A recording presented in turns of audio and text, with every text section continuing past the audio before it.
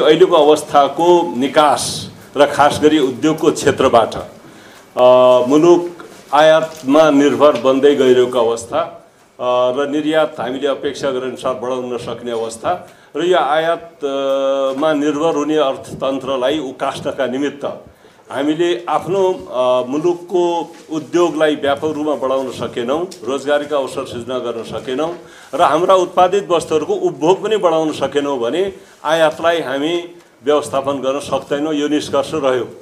र क्रमशः आयातलाई प्रतिस्थापन गर्ने रणनीतिमा हामी जान सकेनौँ भने मुलुकको अर्थतन्त्र उकास्न सकिँदैन। यो निष्कर्षसहित हामीले यो एउटा योजना यो एउटा आर्थिक वर्षले नै पुरा भइहाल्छ भन्ने होइन।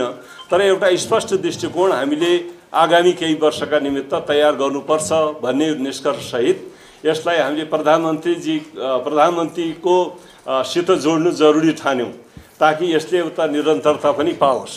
र यो निष्कर्ष सहित हामीले प्रधानमन्त्री नेपाली उत्पादन तथा उपभोग अभिवृद्धि कार्यक्रम भनेर कार्यक्रम पनि बनायौँ।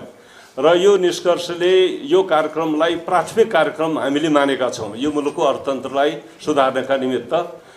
त्यस कारणले अब यसलाई एउटा विशेष अभियानका रूपमा चलाउनु पर्छ। कम्तीमा दस वर्षपछि एउटा परिणाममा हामी पुग्न सक्छौँ भन्ने पनि यसले यो अवधारणाले हाम्रो नीति र कार्यक्रमले त्योले पनि उद्देश्य लिएको अवस्था हो।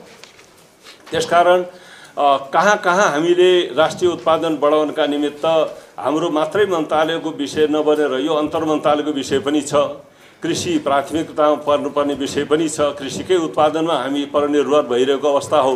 त्यसकारण यो समग्र अवस्थालाई हामीले कसरी सम्बोधन गर्न सक्छौँ भन्ने विषयलाई हामी आफैमा एउटा स्पष्ट अवधारणा तयार गर्न सक्यौँ भने हामी कहाँ कहाँ कुन कुन क्षेत्रलाई कसरी परिचालित गर्छौँ र समग्रमा निज क्षेत्रको अहम भूमिका रहन्छ नै उद्योग को क्षेत्रलाई परिचालन गर्नका निमित्त त्यस कारणले पनि यो सबै विषय हामीले यसमा समेटेका छौँ समेट्ने प्रयत्न गरेका छौँ।